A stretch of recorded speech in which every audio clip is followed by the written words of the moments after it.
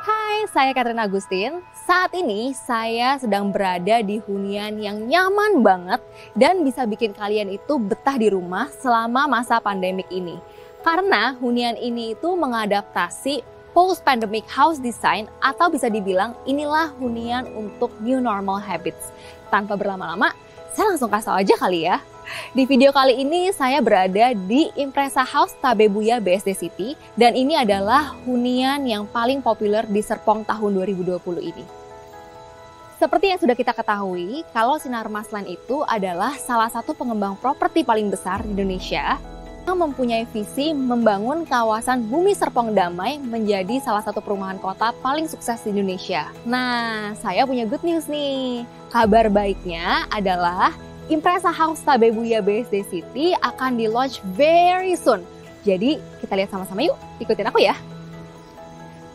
Nah, di depan sini udah ada hand sanitizer dan ini menggunakan automatic sensor. Jadi kita cuma perlu taruh tangan kita dan tidak perlu menyentuh alatnya. Jadi steril. Dan di atas sini udah ada CCTV. Nah, menariknya Impresa House Tabebuya ini menggunakan konsep double function living yaitu smart furniture dan smart home system. Jadi sebelum masuk ke rumah itu ada smart door lock system ini di mana kita harus masukin password dulu untuk masuk ke dalam rumah.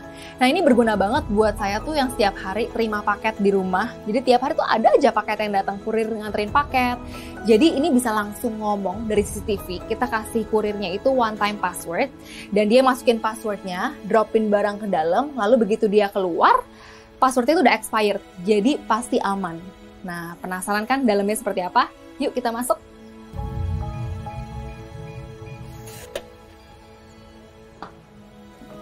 Nah, di lantai satu kita bisa langsung menjumpai dua ruangan yang menurut saya tuh unik banget, yaitu ada productive room dan sanitation room. Saya masuk ke ruangan productive room dulu ya. Productive room ini adalah ruangan serbaguna.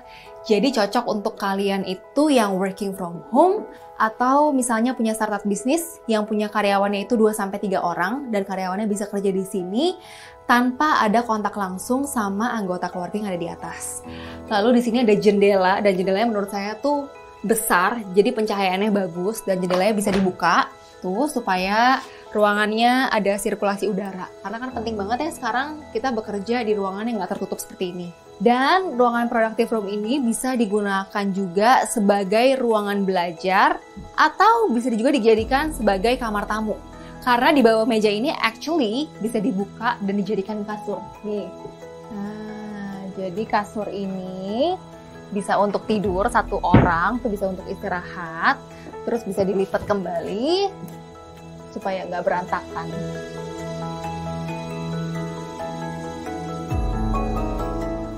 Di depan sini ada hidden storage, jadi ini semacam gudang kecil dan di bagian sini kita bisa langsung taruh alat-alat kesehatan. Jadi kalau tamu datang, dia lupa bawa masker, lupa bawa hand sanitizer atau perlu face shield, jadi kita bisa taruh sini dan mereka bisa langsung pakai.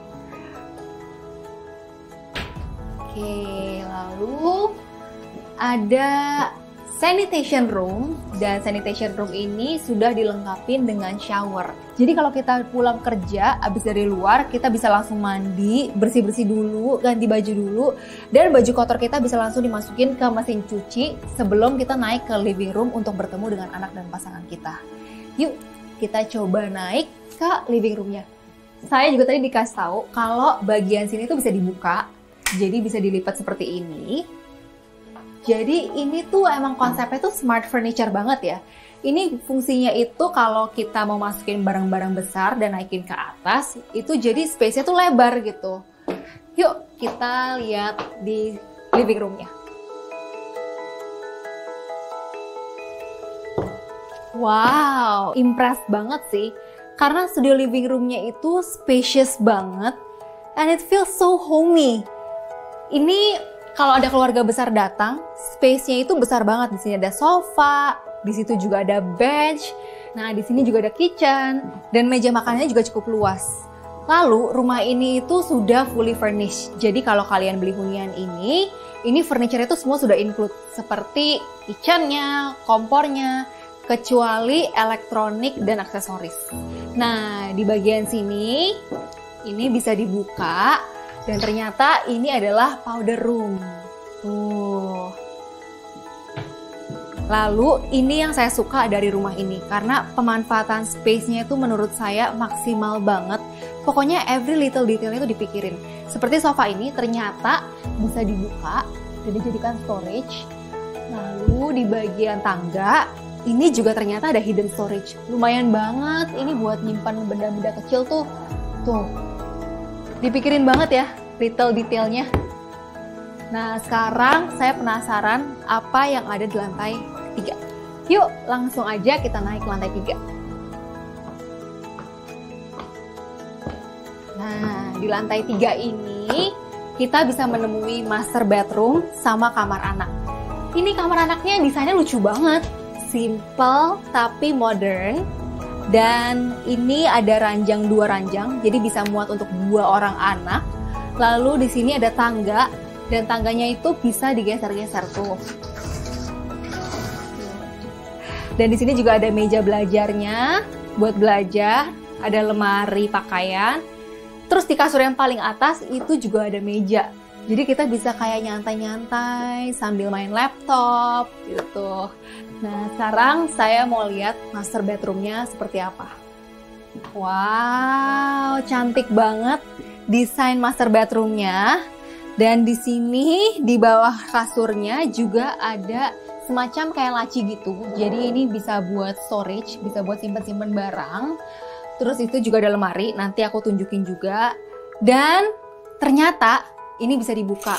Tuh, ini adalah extra balcony. Wah, jadi bisa dibuka, bisa keluar. Tuh, enak banget. Nah, ini juga di bagian situ ada lemari pakaian. Nih, ada lemari pakaian. Nah, ini sekarang saya mau lihat kamar mandinya. Nah, ini kamar mandinya itu jadi ada double pintu gitu loh. Jadi bisa masuk lewat master bedroom, bisa anak-anak yang mau langsung ke toilet juga bisa langsung ke sini.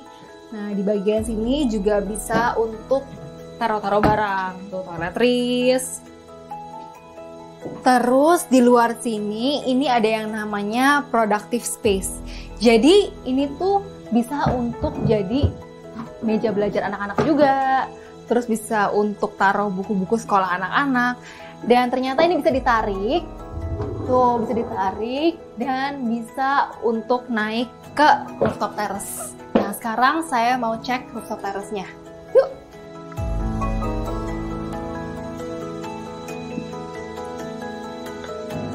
Wow, saya tuh ya suka banget rumah yang ada rooftop terrace kayak gini. Apalagi di masa pandemik seperti yang sekarang, kita tuh penting banget buat jaga imunitas tubuh.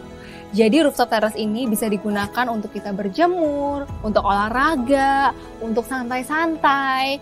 Dan di sini juga bisa untuk foto-foto, untuk OTD foto-foto karena di sini tuh lightingnya menurut saya bagus banget dan pemandangannya tuh bagus banget, cakep banget. Oke, sebelum saya keluar dari rumah, saya mau mengaktifkan CCTV dan mematikan lampu menggunakan smart home system melalui handphone saya. Wow, canggih banget ya.